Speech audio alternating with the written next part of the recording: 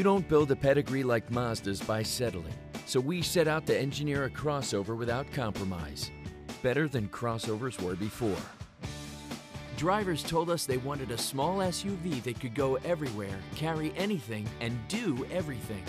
It had to be crafted with quality and packed with technology, but also affordable. And we wanted to push it even further by making it drive like a sports car, but get the fuel economy of a hybrid. To pull it off, we came up with a whole new engineering philosophy SKYACTIV Technology. Everything was re engineered from scratch to work together efficiently and in harmony. The result? The all new Mazda CX 5. It's better, stronger, smarter, with the controlled, confident driving that Mazda is famous for.